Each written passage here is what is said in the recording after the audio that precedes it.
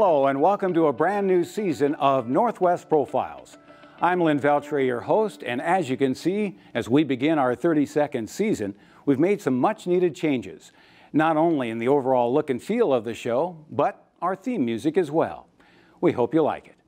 While change is good, the one thing that hasn't changed, besides yours truly, is the mission of Northwest Profiles which is to share with our viewers a variety of engaging stories illuminating the best of what the inland Northwest and Western Canada has to offer.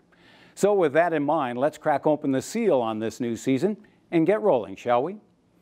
For our first story, we head to one of our favorite cities north of the border, Calgary, Alberta, where for over 30 years, one man has helped put a stamp on the world over by being a creator and innovator within an industry where character is everything.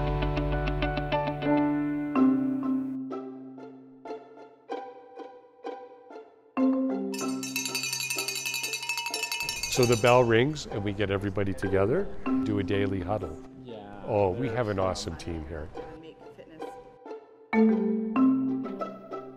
I'm Glenn Street. Uh, I'm top dog at Street Characters Inc.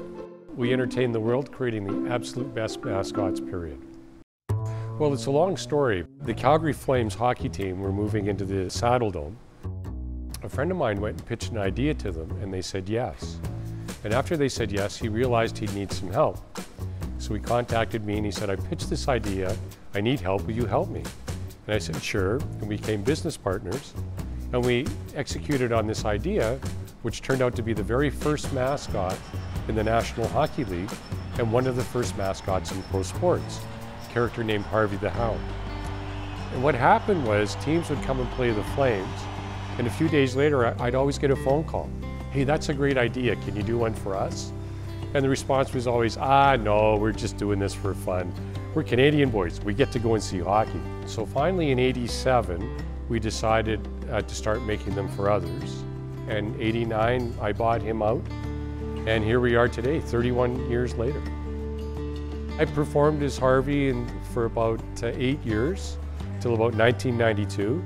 And then actually I became game operations person for the Calgary Flames after that.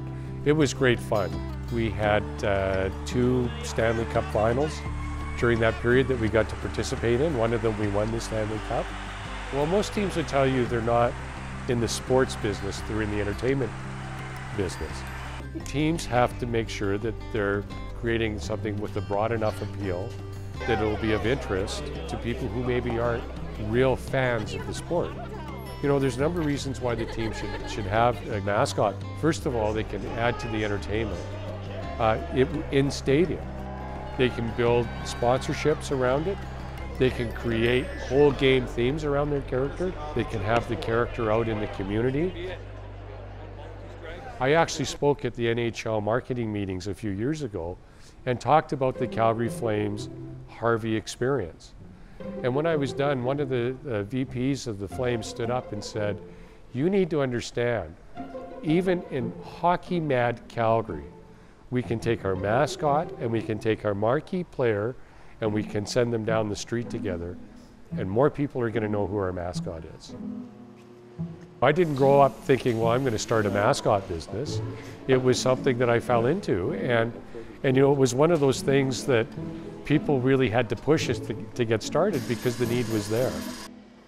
So we've been doing this uh, about 31 years now, and we've worked with about half the mascots in the NFL, NHL, Major League Baseball, a whole ton of colleges down in the States, a few in the Spokane area.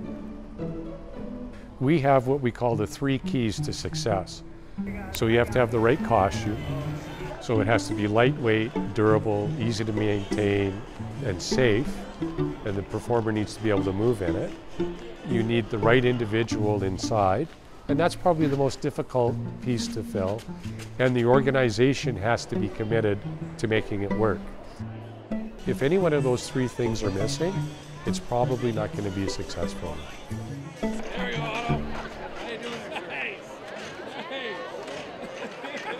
One of the things that uh, is really interesting is a lot of teams, particularly, when they approach us, they want this tough looking, fierce, don't mess with me looking character. And we do those. We'll do whatever the client wants, but we like to have the conversation with them around think about your favorite character. It's probably a fun, cartoony type of character. It's not something that was a real realistic or fierce looking character. These characters become the host of the, in the arena for the fans.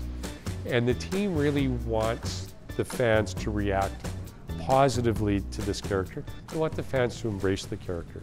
And our experience is, is that when you do them kind of fun and light and things like that, that they're very approachable. You know, and a great example is the Calgary Flames here. You know, when we first rolled out Harvey, the Flames were sold out in seasons tickets. Most of the season ticket holders were corporate seats. The majority of the people here were geologists and engineers, um, and their average age was in the, in the 50s. So we had this older, highly educated, mostly adult, uh, white collar crowd. Exactly the kind of crowd you think a mascot would work in. Uh, yet every year when the Flames did their season ticket survey, they'd ask the question, other than the hockey, what's your most favorite thing at the Flames game? And consistently, 85 to 88% of the fans would say the mascot. And that's because we understood the crowd that we had and we played to that crowd. And uh, so anytime a whistle went, they were looking around to see where's the hound? What's he going to do next? He's a big part of the entertainment at the game.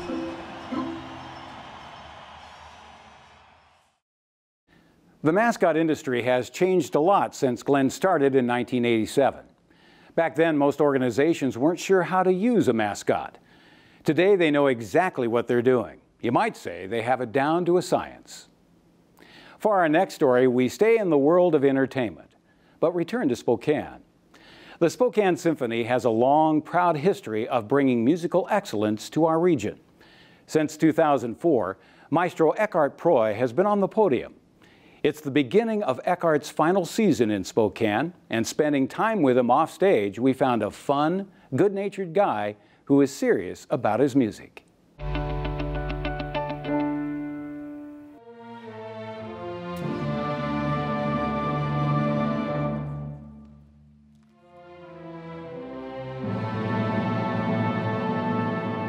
When I step on the podium, I think the only thing that I'm really thinking about is sound.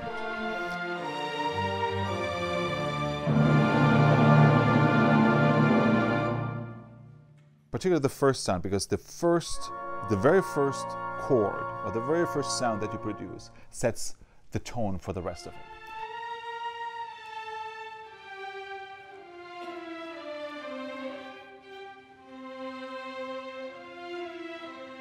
It, it has a very spiritual, a spiritual experience when you uh, when you conduct and all that music comes out. And you have actually when you're standing right in front of the orchestra, that sound is amazing. Maestro Eckart Preu has served as music director of the Spokane Symphony since 2004. He is now in his final season. Right now, I'm really just focused on the new season and making it a great, musically satisfying season. Music has always been a central part of Eckart's life, and it's brought him on a long and winding road from his childhood in communist East Germany to Spokane. I think that when you grow up in a society where you are always aware of the restraints, that you have to operate in, even as a child. Um, that sh it shapes your life in, in, very, in very different ways. Eckart was born in 1969. His father was a musician who inspired Eckart to pursue music. It was not so much a decision as just a very organic flow. When Eckart was 10 years old, he and his brother were enrolled in boarding school at the Dresden Boys Choir, one of the world's oldest and most famous choirs of its kind. And pretty much all we did all day long was singing and soccer. I had two choices.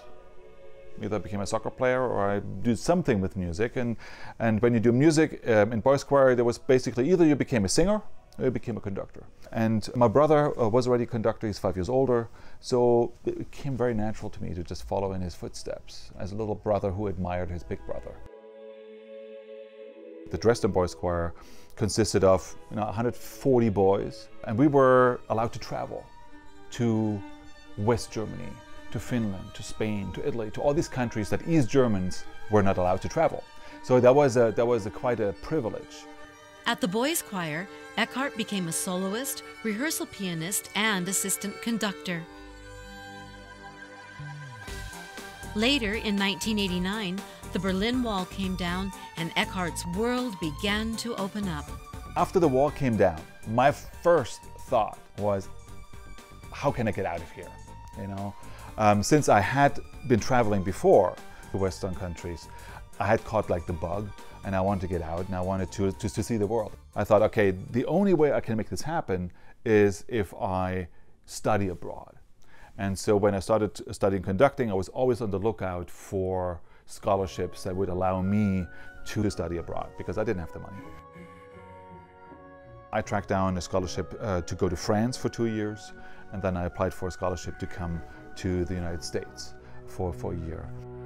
During those years, Eckart became principal conductor for the New Amsterdam Symphony Orchestra in New York, as well as associate conductor for the Richmond Symphony in Virginia. And so, three years into my uh, tenure as, a, as associate conductor in Richmond, I applied for uh, several positions in Stamford, Connecticut, and, and also here in, in Spokane. And then I became music director here. I didn't really know where Spokane was at the, at the time. I was looking at the map and said, oh my God, it's all, all the way up there on the, the far left corner.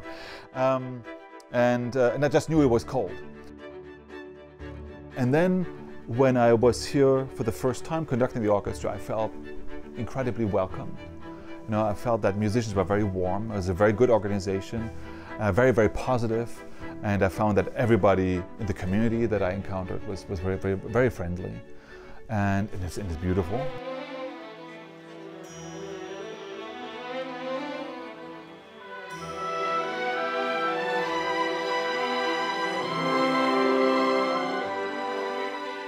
In my experience in Spokane with the orchestra, but in Spokane in general, is that if you make a case for something, maybe may it be weird or funky or interesting or new, had never been done before, people will follow because Spokane is a very open uh, community and is always ready for a new adventure. I really get this opportunity again. So just smile.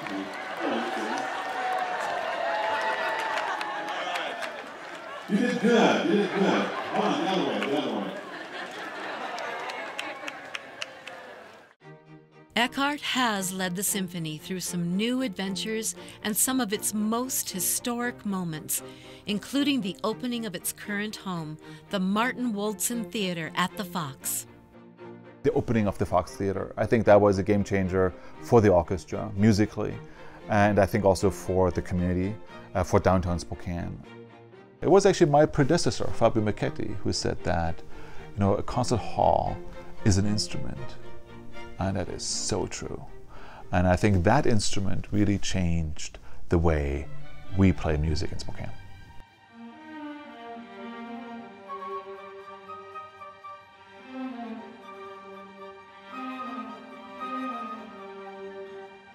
I can feel as a conductor in my back the energy that's, kind of, that's coming from the audience. I know what they're thinking. I know when they're bored. I know when they're sleeping, but I also know when they're excited about it.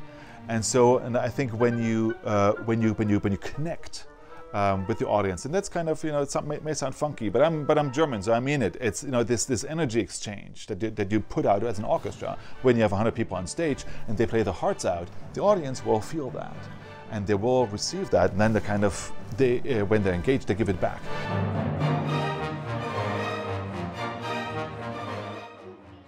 Spokane is also the place where Eckart would meet Neely, his bride to be. Together, they're raising two daughters. When I was introduced as music director here in Spokane, the symphony put up billboards all over town, these, bill, these big uh, highway billboards, and uh, with my face on it. And, and the story goes that Neely saw those billboards with my face and said, I'm going to marry that guy. And the rest is history. I always wanted to have time, more time for my family. As a musician, you identify yourself very strongly with your, with your work. You know, because that's what I've been doing since I was four or three or so. I've been doing music, so that, that's a very important part of me. But family is, is basically my anchor. And so what that does is it makes you a super, super, and all parents will agree, a super, super efficient person because you need to be. And so 10 years ago or so, I would have had you know, hours and hours of work and days I would have spent on a certain score. Now I can do it in a couple hours with almost more depth um, uh, because, because you just get so, so efficient. And your brain, I think, is also on a dialed a little bit on a different level, your memory and, and, and your creativity also. It's like you, you just, it's, it's, like on, on overdrive, on, on, on, creative overdrive in many ways. So you don't, you know, develop concepts very slowly, but you're just like, like this, like this. And, and I enjoy that. I enjoy that. It's kind of, yes, I can do this, you know? It's a good thing that Eckart enjoys being on overdrive. He's already been splitting his conducting time between Spokane, Long Beach, California, and Cincinnati. After this season, he'll turn in his baton in Spokane to become music director for the Portland Symphony Orchestra in Maine. And if the first two are kind of abowish, so brrr, boom. Second time also brrr, boom. And the third time is brrr, boom. So I've been music director here for 14 years. Uh, and I think the average tenure of a music director with an orchestra is six. Even so, Eckart still considers Spokane to be his home base. And, and for the foreseeable future, uh, it might as well stay that way. My family is very happy here. I'm very happy here. Um, it's a beautiful community. So unless there's a real reason to move, um, I won't move. I'm honored and humbled about being given a star. I've given 15 years of my life to this organization. And I think what that star symbolizes for me personally um, is that even though I'm leaving the Spokane Symphony, I'll be always right there. Thank you. I'm not really thinking about goodbyes yet, you know, um, because I think uh, that might just affect me in, in weird ways. I think, you know, I, I want to have a good time. I want everyone else to have a good time. I know that I had a really good run and that I had a great time here. Everything I know now as a music director, I learned here. And that's two measures before the woodwinds have tom tom bum bum bum bum bum. Yeah, you'll find your way back in. What keeps me in music is the search for something that will, I, I will never reach. That's the one. Yeah, thank you. Every time you look at a piece, it's a, it's a new piece. And every time you look at a piece, you, you dig a little, little deeper. It's like this eternal tunnel, and you dig and you dig and you dig. No matter how long and how often you perform a piece, um, you find new things, and, um, and and you may actually change your entire opinion about it, about a, about a piece. Like this third or fourth or tenth time you do it, and you said, "I've always done it wrong. Now I do it this way."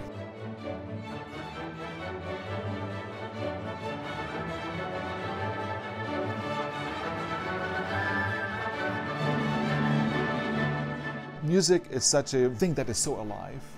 And every time you do it, it's different.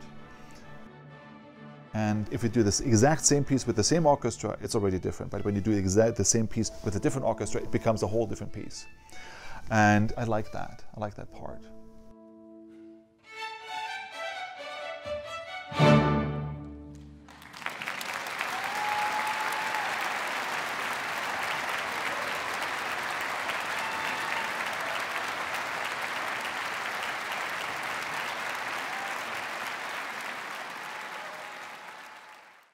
In his rare downtime, Eckart may occasionally enjoy a good loud action movie, but more often than not, he relishes quiet.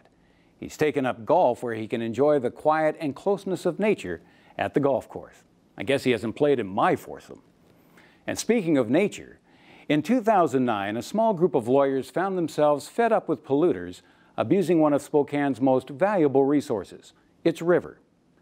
They recognized a hands-on approach was needed to protect this cherished asset and formed a group known as the Spokane Riverkeeper.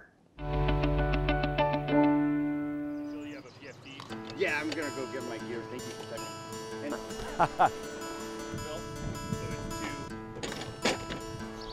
Did uh, Bill move these?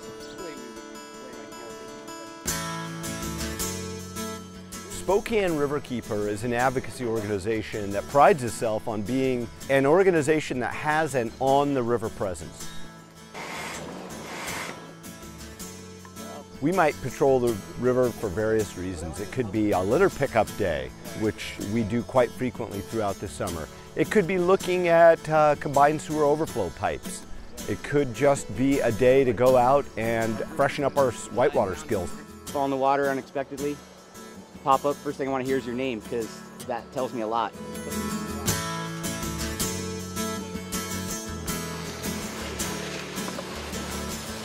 We get out into the community educating youth, sometimes on the river, sometimes in schools, about all kinds of issues that face our river. Toxics that run off of human use into the river, to land use and the way in which runoff pollutes rivers. This is called a Secchi tube, and it doesn't really look that dirty now that we've taken the sample, right? But we're gonna see if it is. You know, when we go talk to youth, you know, they really get the need for clean water. And they really ask the right questions. Let's talk about what a healthy stream is. We really want the students to get a feel for what is happening in their backyard. A lot of students didn't even know where Hangman was located, and so knowing that it's so close and it's so vital to their Spokane River, which they're all very familiar with, I found very important to introduce them to that. And, and hopefully they can spread the message to other people who also aren't very familiar with our watershed that this is important and that we should care. I want to go forth and how I look at the river and how other people look at the river and change their perspectives and to show people that it's something that we're not dealing with now, we're going to have to deal with it for the rest of our lives.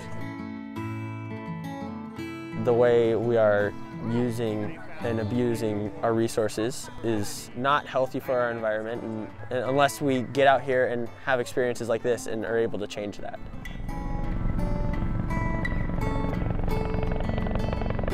A lot of people don't realize, for instance, that there are dischargers discharging waste into the river.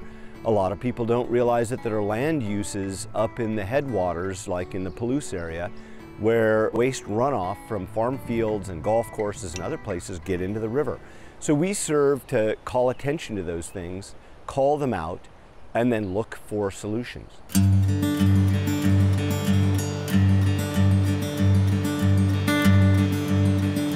The Spokane River right now is a really interesting mixed story.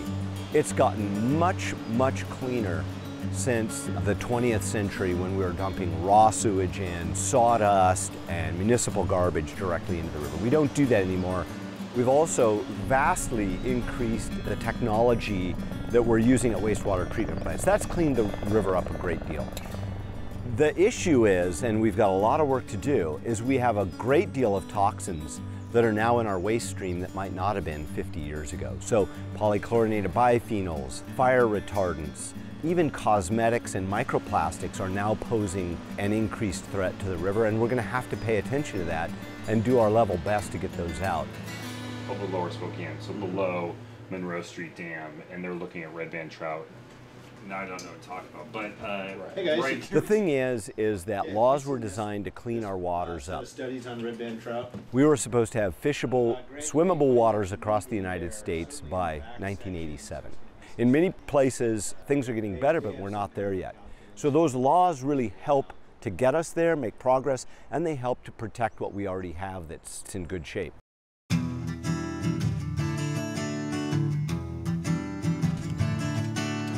The public often doesn't understand that laws can get run over if nobody's watching.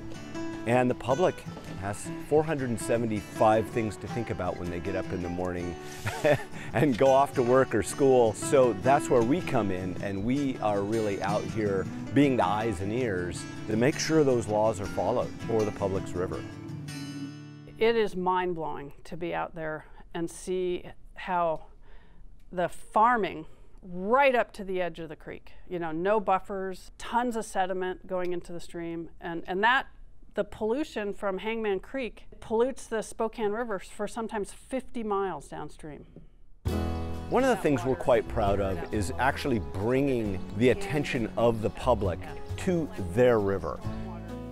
The public now is beginning to really recognize when they see that muddy plume coming out of the mouth of Hangman Creek, it's not just natural normal erosion, it's pollution.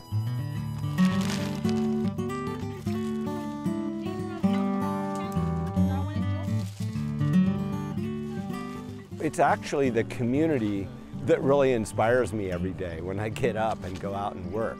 And so when you're involved in outreaching to the public, whether it's the youth, or maybe it's boaters, or maybe it's people walking their dogs on the Centennial Trail above the river, at some fundamental level, the public really does love their river and understand it. And that's absolutely what keeps Riverkeeper getting up and going out day after day, sometimes to roll our sleeves up and find resistance inside the bureaucracies we keep doing it because the public does care and the public gets it. More recently, the Spokane Riverkeeper has been working closely with Spokane Falls Trout Unlimited, conducting research to find ways to restore the river's red trout population and enhance the overall fishability of the river system. And with that, it's time to let you off the hook. We've reached the end of this edition of Northwest Profiles. If you're looking to find out more about any of the stories you've just seen, or to give us a story idea, simply go online to ksps.org. Until next time, this is Lynn Veltri saying so long, and remember, the beauty of living in the inland Northwest and Western Canada is the fact that there's adventure around every corner. So get out there and explore, and when you do, make sure you take time to enjoy the view.